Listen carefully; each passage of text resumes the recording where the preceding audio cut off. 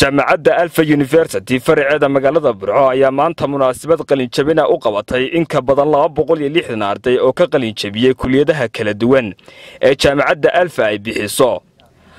Munaasabadani waxaa ka soo qayb galay xubno ka socday golaha wasiirada ee somalilan mas'uuliyiin ka socotay xisbiyada waalidiin iyo sidoo kale ardayda wax ka barata jaamacadda iyo marti sharaf kale. Ugu horrayntii waxaa halkaasi ka hadlay guddoomiyaha jaamacadda alfa ee gobolka togdheer cabdiqani ibraahim xasan waxaana uu guddoomiyuhu faahfaahin ka bixiyey.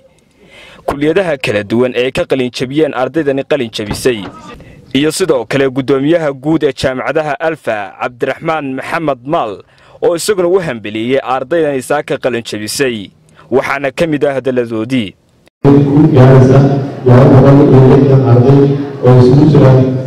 kuliyadaha caafimaadka kuliyadaha sooshalka kuliyadaha i c t-ga waa markii koowaad ee gobolka togdheer arday taabtirada runtii ay ka baxdo ardaydaas runtii waxaa lagu dhahaa waa arday aad aqoon ahaan iyo tay ahaanba runtii aada u dhisan jaamacadda halka oo runtii kooban ka jirtay gobolka oo la asaasay laba kun iyo afarkii kadib markii aan aragnay baahida waxbarasho ka jirta gobolka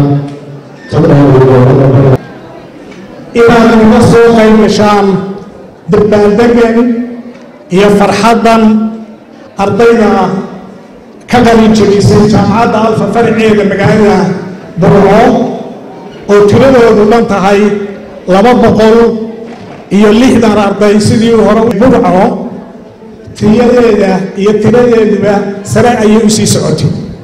Maalin marmada ka dambaysa waxa mahadda waxa iska leh maamulka iyo brofesorada jaamacadda alfa ayaa maxaan tayada iyo tiradaa korodhay ee sanadba sanadka ka dambaysa sii kordhaysa waxa iskale maamulka iyo brofesorada iyo shaqaalaha jaamacadda ee ka soo shaqeeyey sidoo kale waxaa iyaguna halkaasi ka hadlay barasaab ku-xigeenka gobolka togdheer maxamed cabdilaahi nafaqo.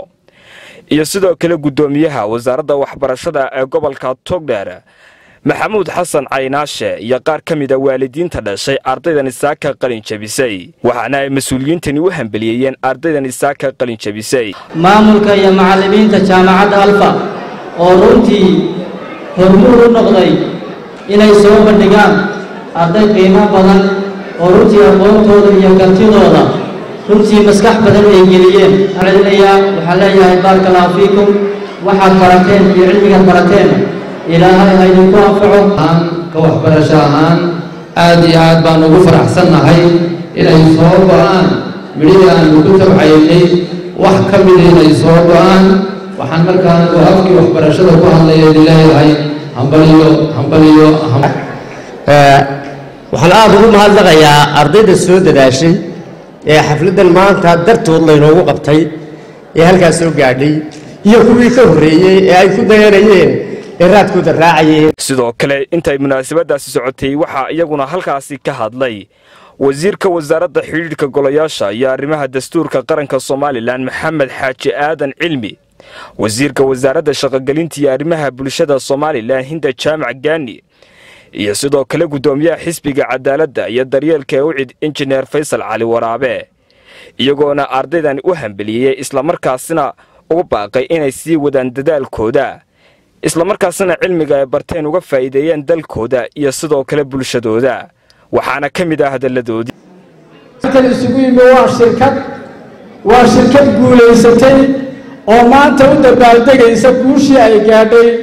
Waa maxay shirkadda? Aan ka sheekaynaya shirkaddu waxay ka soo bilaabmaysaa waalidkii iyo ubadkii iyo macallinkii iyo maamulayaashii kala duwanaa ee jaamacaduhu ay ugu dambeeyeen mas'uuliyiintii qaranka heer gobol iyo heer qaran iyo dhammaanba inta ka soo qayb qaadatay ilmaha quruxda badan ee horteeda fadhiya hadlay iyo wiilalba waxaan la ilaawi karin marnabana la'aantood aanay suuro gasheen dadaalka iyo dardargelinta iyo dulqaadka iyo daacadnimada waalidiinta oo danyar iyo danroone inta ka dhex leh dhexda u xidhay inay carruurtoodu noqoto carruur aqoon leh oo khayrkooda dunida jooga la tartama. Waalidkaas ayaanan ilaawi karin waanan u mahad celinayaa. Tahay aynu isugu nimid darteed laba boqol iyo lixdanka arday ee isugu jira hable iyo inamo ee bartay fakallada kala duwan ee jaamacadda alfa. Waxaan idin leeyahay alfa mabruuk hambalyo hambalyo hambalyo. Saddex qodob baa la qaatay. In la iscafiyo in qarinimadeedii aan soo ceshanno iyo inaan dowlad loo wada dhan yahay aan samaysano. Horta saddexa bilar ay somaliland ku dhisan tahay waa saddexdaa dufcaddan ayaa noqonaysa tii saddexaad ee ka qalin jabisa jaamacadda alfa university faraceeda magaalada burco. Cabdiraxmaan cabdilaahi xasan camaar telefishinka caalamiga ee somali news magaalada burco